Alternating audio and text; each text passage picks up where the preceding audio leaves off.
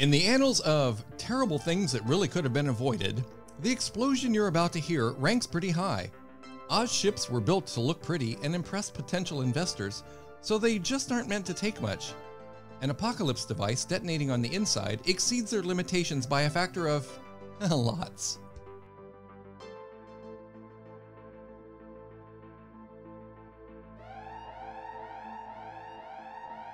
Come on, lads and lasses. Can none of you type in a simple code? I could read you the numbers. Ten seconds. I'm a hendecapus, Dick. Unless it has a number 11 in it, it's out of my field of expertise. You're a wanker, Martin. Actually, you're 11 wankers. Zero.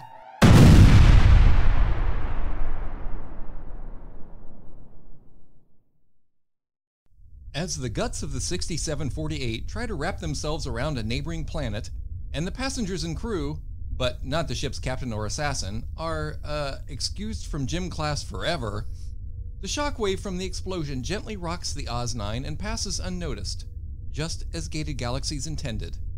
Meanwhile, What the don't bloody hell do you think you're Will doing You stop talking to me. You've got 14 seconds, but by all means, argue over who types in the code. That's a brilliant use of the rest of your lives. All I'm uh, saying is I can't be asked to type in a code without the uh, necessary appendages. Oh, for God's sake, get out of the way. Grace period initiated. Countdown reset to 30 minutes. Oh, thank God. Hang on a minute. Where do you think you're going? You've got just shy of 30 minutes before we have to do all this over again. So maybe you could appoint a trustworthy person to be in charge of the code? And yes, I realize the word trustworthy just popped out and staggered around the room a few times before dying of futility. And hang on, what was that? What was what? It sounded like half a million voices cried out in terror and was suddenly silenced.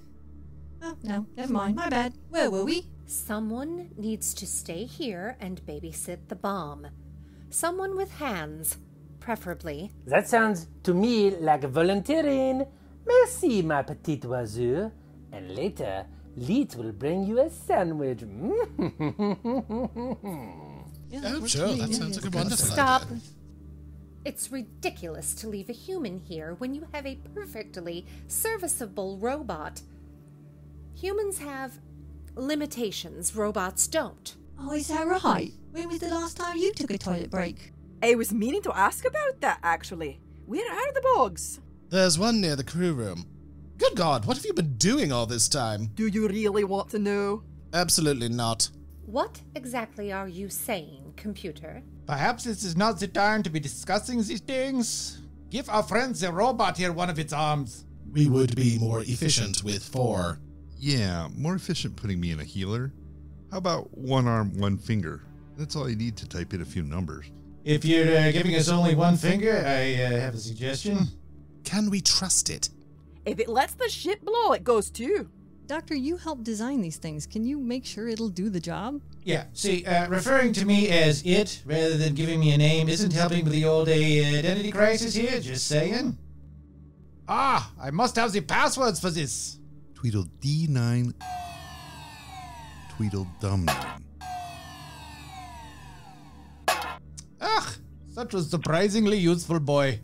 Friend Leet and I will work on this to make them a teensy more cooperative. Perhaps you will go and show Miss Jessie the toilets, then to the bridge for the steering and the stopping and whatnot, hmm? Come to think of it, I haven't been to the toilets in a while myself. I have such incredible powers of concentration. Yes. Well, uh, maybe we could all take a little tour of the ship, including the um, facilities. Olivia? Follow the doors. Is this seriously how they're going to find out they're not human?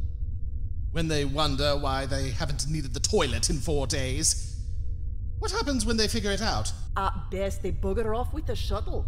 At worst, they throw you over their shoulder like a sack of potatoes, triple time it to the nearest airlock, and whip! That's what happens. They can't find out. And are we really going to let the Bichon Frise just wander around the ship? We can't let him loose. What if he kills Joe? Uh, I mean, Dr. Von Hocus Pocus. And while we're on that topic, How the bloody hell is Joe Dr. Von Happy Camper? Uh, I need a drink. You're holding one. I need a bigger one. And another olive. Does anyone else smell motor oil? Oh no. Now don't go telling me you're a machine and all. Don't be absurd. Oh, look, the hallway signs have finally appeared. It's about time. Uh, do you see hallway signs? Nope. You? Not a sausage. Crap. If you two are finished whispering, perhaps we could carry on? Last one to the bridge is a chubby German sausage. Oh, I heard that. Totally unnecessary, this body shaming.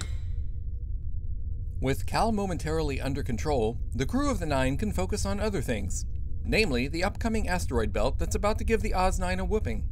Get it? Belt? Whooping? Never mind. You might be thinking that the Oz 9 is currently hurtling toward the main asteroid belt that occupies the space between Mars and Jupiter. You'd be wrong.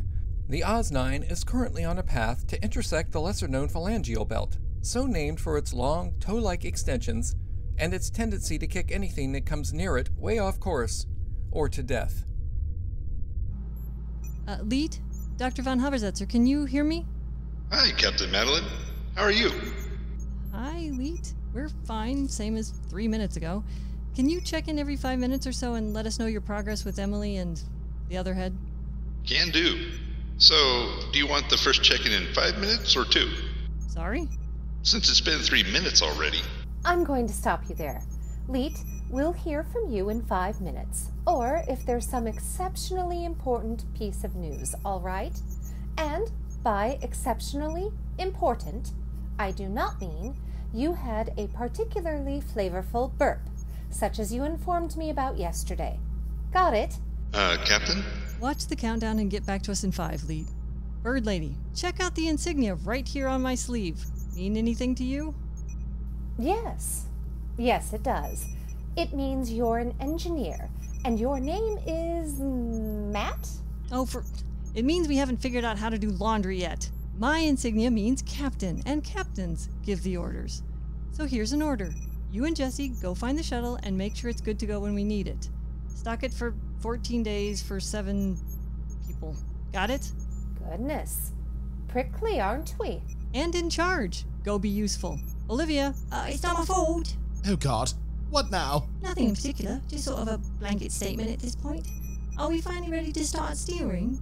Is anyone else very, very, very bored? So that's a no then. I don't suppose you can go sit in a corner and do nothing and kill no one and not talk? Or move? Perhaps I will go find the toilet, since we have yet to find one. Or, as you are a rather stinky, perhaps I will go in search of les douches. Well, you won't have to go far to find them. You can't just let him wander around on his own. I need to concentrate on flying my ship. Look, empty out all your weapons. Come on, on the table, everything. Let's go. What? This is unreasonable. These are the tools of my trade. Would you ask Leet to go without his. Well, would you ask Colin to go without. Uh, oh, mon dieu. What do any of you people do? Time to intercept the asteroid belt is slightly sooner than the time Cal pops his clogs and takes everyone with him. Both of which are just a hair sooner than I want to watch you all disintegrate into frozen fish flakes. If anyone's interested. I gave up my pen. Surely you can sacrifice a bottle of decongestant. Fine. But only because my most lethal weapons are my brains and my hands. And you cannot take those from me. I'll give it a go. For God's sake, will you hurry up? Fine. Ooh, look at this one. Oh, oh, man, petite, where have you been? Ooh, I remember when we did this that one time with that. Oh, look at this thing. Colin, you will love this one. Ha ha ha. That's an impressive array. What did you do with this? Ooh, do you suffer from the night horses? Night. You mean nightmares? Yes, fine, alright. Do you have the bad dreams? Oh, never mind. That was going to be a very scary saying about how knowing what this is for We'll give you the night ho- nightmares, but you completely ruined it with your correcting. You are the most absurd creature aboard this ship. And that's saying something. It's also wrong. Uh, 11 minutes left on Cal. 9 ish to the asteroid belt. And about 15 seconds before I start heating up the floor. Everyone, get off this bridge now. My pockets are empty. May I go? Hang on a tick. What's that around your ankle? My trousers. Very funny. Beneath your trousers. And don't say your sock. There's something that smells of. cinnamon. Fine! It's a cinnamon stick. A cinnamon stick that is sharpened to a little punt point, and it keeps my shoes fresh. Oh, that smells a good deal more of shoe than it does of cinnamon. However, did you smell it? Get off this bridge! Alright, before we go, I want some sort of guarantee that I won't end up on the breezy side of an airlock. Oh, for. Albatross, don't kill Jessie. Body tag or no body tag. Very well. Hang on, it's that simple. She outranks me. But use a ketchup pen just once, and all bets are off. Alright, alright, but you don't have your Sharpie anymore. What if we need to take notes? Do you think your accent makes stupid any more charming? Watch it. Ooh, feline fat. What are their chances of making it to the shuttle alive, do you reckon? One in three. Okay, time to fly through an asteroid belt. I'm sorry, what? You do realize I can't actually help you. Actually, you can. Uh, Jessie explained it to Von Joe and me. Flying through the belt isn't actually the problem. Unlike most of this crew, it's not that dense. Stuff in there is pretty far apart, so we can get through it as long as we can steer. Probably. Probably. The problem is getting control from whoever's steering us. Whomever. Seriously? Now? It's a reflex. So how can I possibly help? Olivia, Uh, yes, Madeline? explain it to Colin, will you? Me? You didn't understand it, did you? You didn't understand it. I'm busy captaining. Olivia? Right, so have you ever played strip poker, and are you any good at it? This bit is pretty heavy on the science and math, so suffice it to say, they mostly want Colin for his cufflinks, which are made of a rare metal that can interrupt uh, something and allow Madeline and her crew to do some other things. Uh, let's go see what someone less complicated to narrate is doing. I shall follow the ladies, are sneaky sneaky, and they will lead me directly to the shuttle. Once it is prepared and loaded, I shall overpower them. Then it's bye bye, farewell, adieu to the Oz 9. And hello, Monsieur Sweaters. I am here for the monies. Are you sure this is the way to the shuttle? Of course it's not. That idiot Frise is following us. Honestly, with all that monologuing, he makes more noise than a mariachi band with bubble wrap.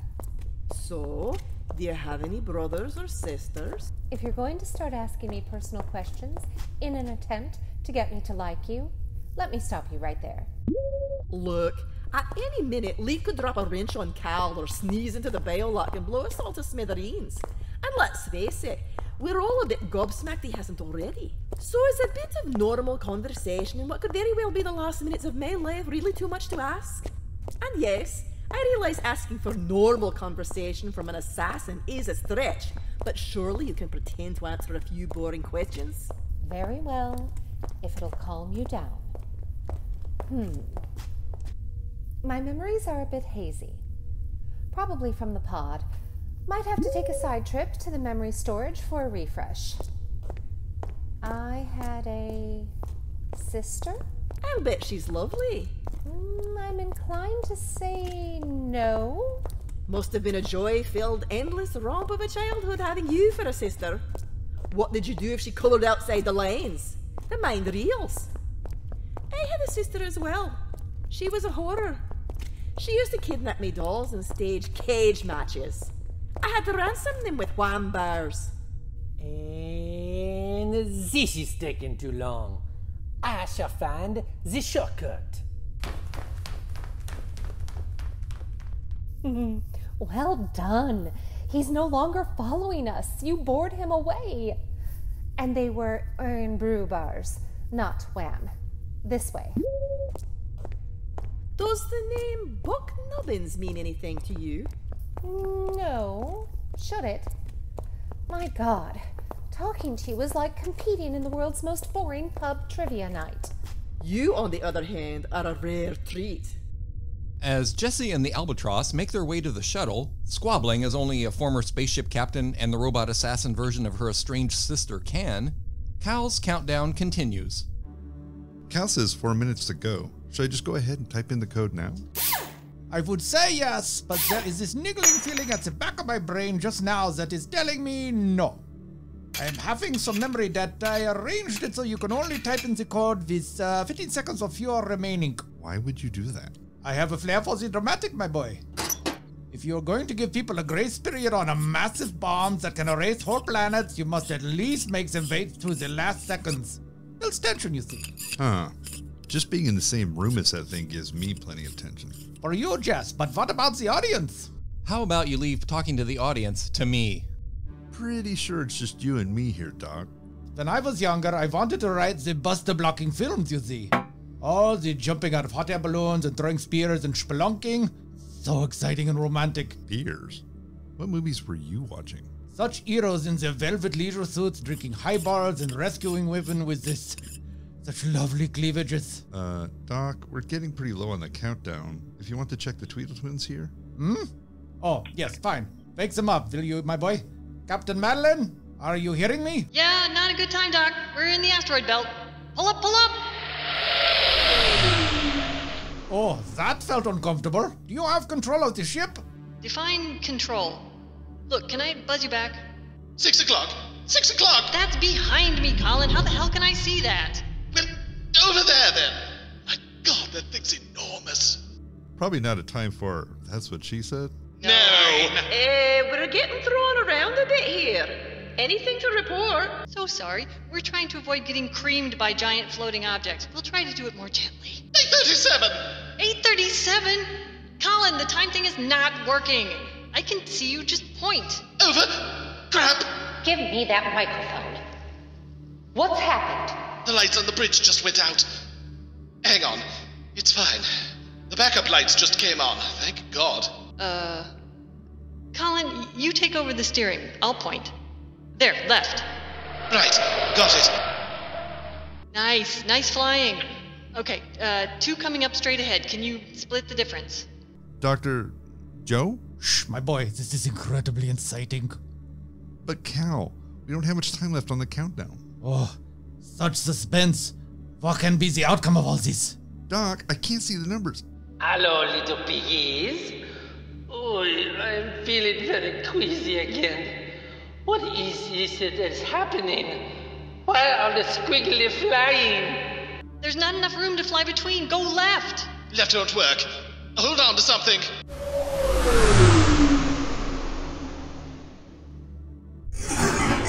Just as Leet reaches to type in the code, the Oz 9 goes into a steep dive, and all the occupants, well, the ones that are awake, float up to their respective ceilings. And in Leet's case, away from Cal's control panel. Time almost seems to stop, the numbers on the countdown clock flipping over with torturous slowness. In desperation, Leet kicks off from the ceiling and manages, barely, to grab a hold of Cal's panel. Just gotta hang on. As the Oz 9 screams through space, a death dealing blow from an asteroid coming at any instant, Leet frantically types in the numbers just as the countdown clicks over to zero. Grace period initiated. Countdown reset to 30 minutes. The Oz 9 levels out, and the crew find themselves once again subject to the laws of gravity. Ugh. Gott und Himmel, what an adventure! Uh,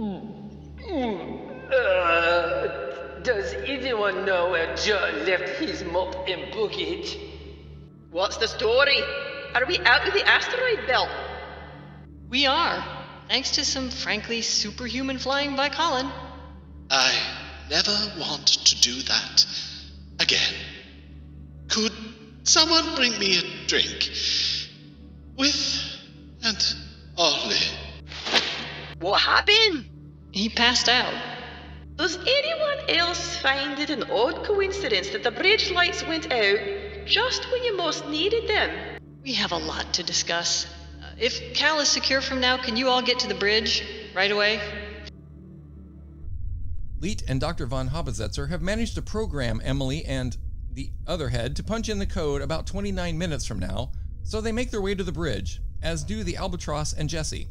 Le Bichon Frise has a bit of uh, cleaning up to do, but he isn't far behind. It's completely dark in here. I thought you said the backup lights were on. Good lord, woman, open your eyes. No, she's right, Colin. There are no backup lights on the bridge. But I can see you perfectly well. You're standing right there. And Leet's picking his nose. I'm not. Scratching it. Oh, this can't be good. Wait a minute. You are saying that cocktail boy. Yes, what are you saying? Something has happened to you, my boy. Where are you so I can pat you reassuringly on the arm? I'm right here. And you're all having me on. Very funny. How did you know how to fly the ship? It's a steering wheel. I can drive a car, you know. Cars don't dive. Well, except my sister's. When she got a hold of some pills and drove off that bridge that time. So we are saying that cocktail boy here.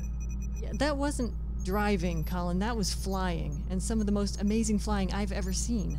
My sister was flying too, if you get my meaning. And Oz ships steer like shopping carts.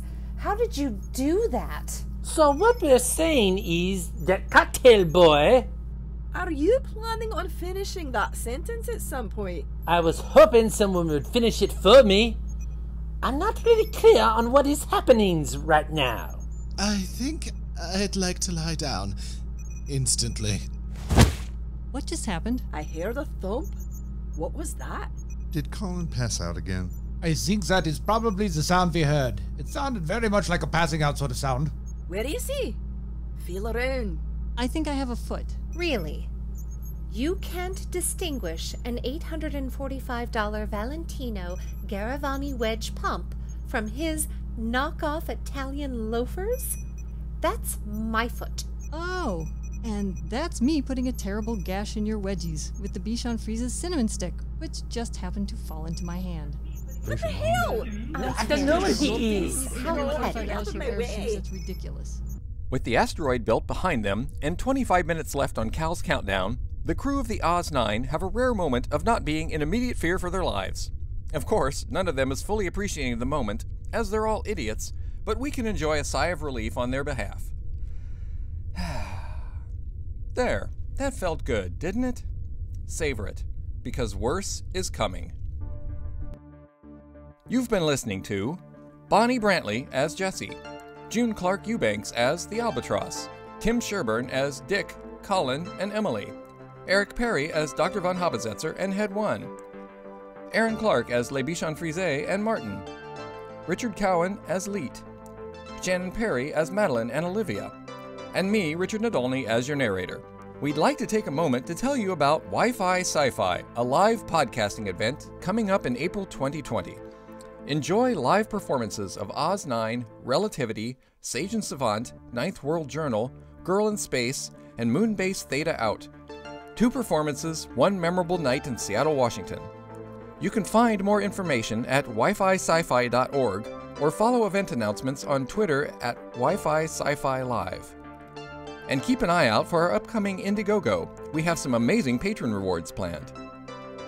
Oz9 is written and produced by Shannon Perry.